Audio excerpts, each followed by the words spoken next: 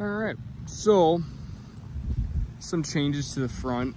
We got some bigger frame stands. So we got some 10 tonners because the other frame stand started bending and I didn't want to get under the truck.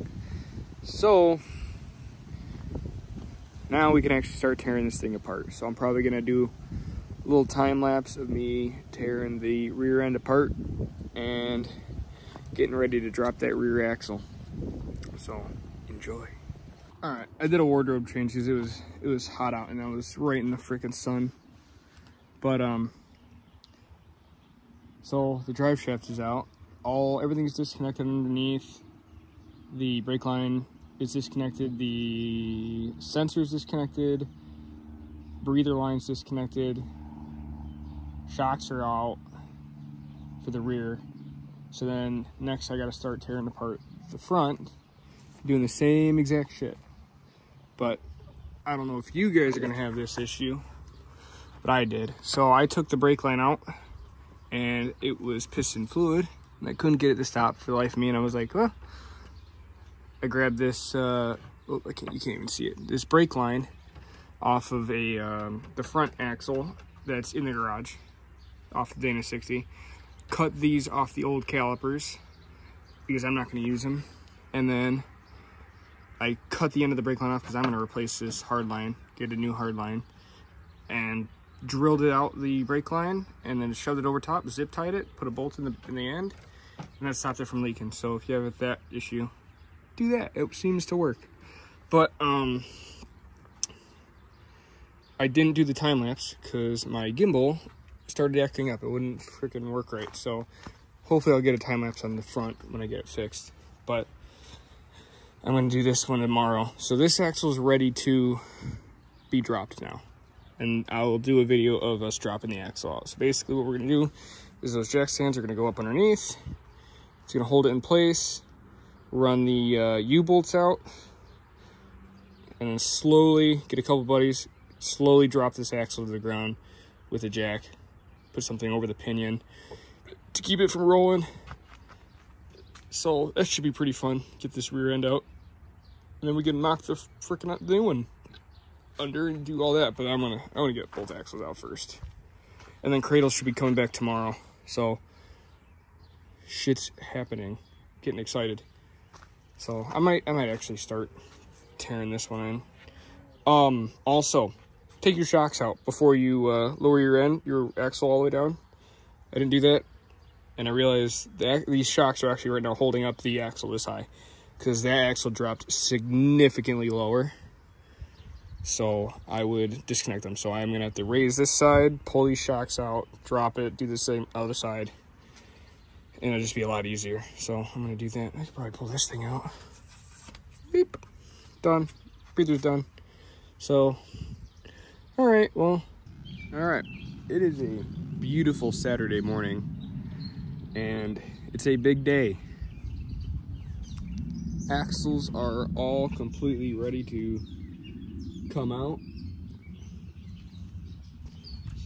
Obviously, you know, the rear's ready, so it's a big day. We're pulling these things out. I got a couple buddies coming over and we're gonna pull it out and I'm gonna get a time lapse of us pulling them out. So should be pretty fun.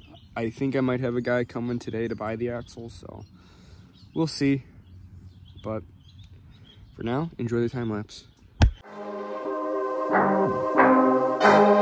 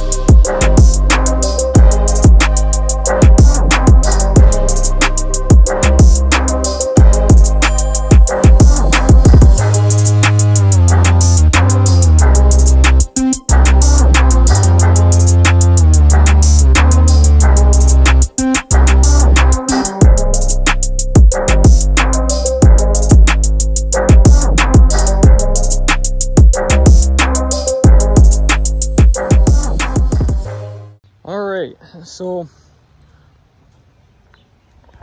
both axles are now out. Man, was that kind of a pain in the butt. So the U-bolts did not unthread, so we couldn't unbolt them. We were able to save two of them.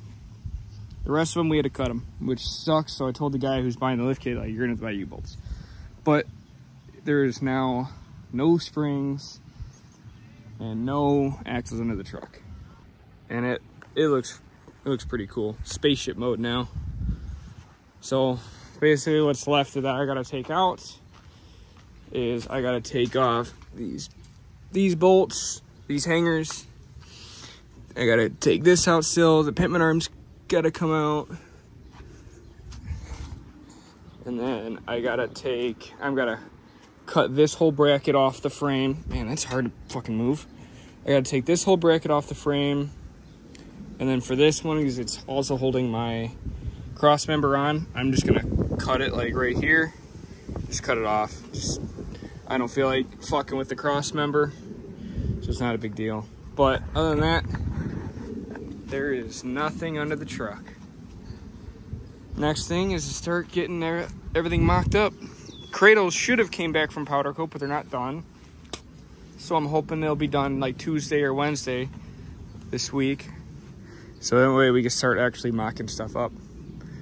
But other than that, I am done for the day because it was a motherfucker to get it out. I'm gonna finish cleaning this stuff up and I'm gonna wash the concrete pad off, get all the dirt off so that way when we're under here, we're not rolling around in more dirt. But, yep. Now I'm just left with a bunch of junk. So, still looking for, for a buyer for these axles, so you get them how they look, except for the wheels and tires. So no wheels and tires. So feel free to freaking message me. Like I said, all this stuff is new. I would probably get a new steering linkage if I were you because that is blown the heck out. But everything else is good. So, other than that, this is it for this video. So, thank you guys.